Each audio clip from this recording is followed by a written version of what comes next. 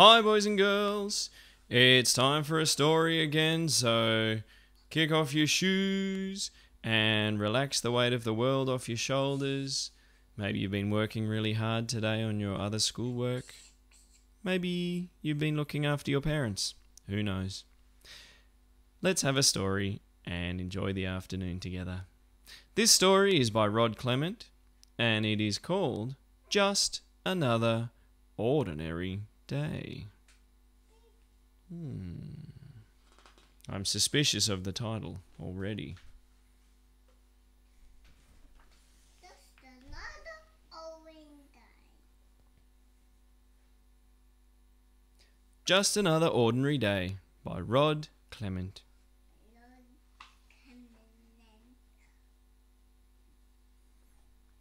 It was the beginning of just another day. As the first rays of sunlight slid under the door, Amanda awoke to the sound of her alarm, which rang at 6:30 a.m. every school day. Every school day.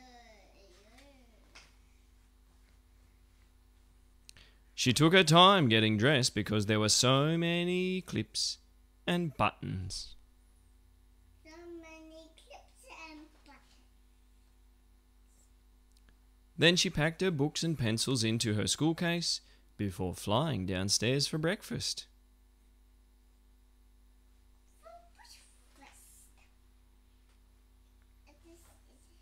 She was never very hungry in the mornings.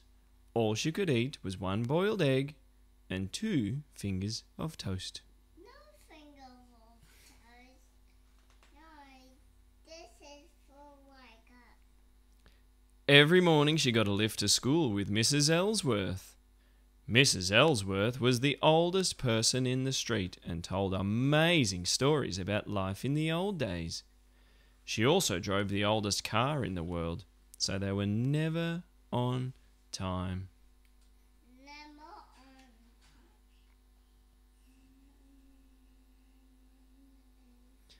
Amanda hated being late for school. They made such a fuss about opening the school gate.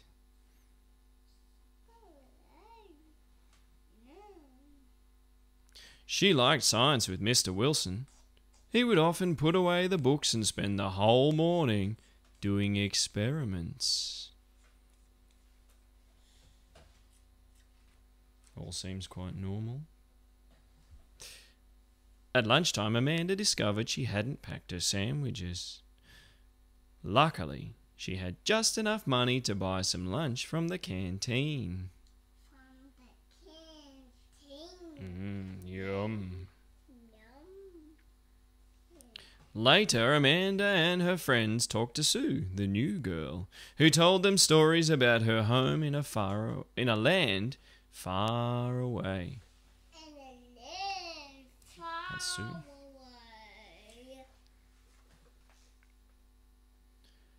In the afternoon, Amanda had library studies. She loved hearing Mrs. Billups read aloud from her huge collection of pirate stories. Tilly Wyman was caught chewing gum again and was sent outside. Mrs. Billups was very upset. Very upset. When school was over, Amanda's mum picked her up in their off road vehicle for the rough ride back home. What was big home? Cool vehicle. When they finally arrived home, Amanda and her mum took a shower to wash off the dust. Wash off the dust. Her dad decided to cook a curry for dinner.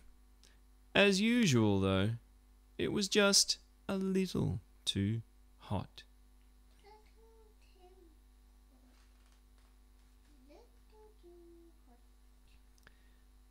After dinner, Amanda curled up with a book and her cat, Fluffy, in front of the fire.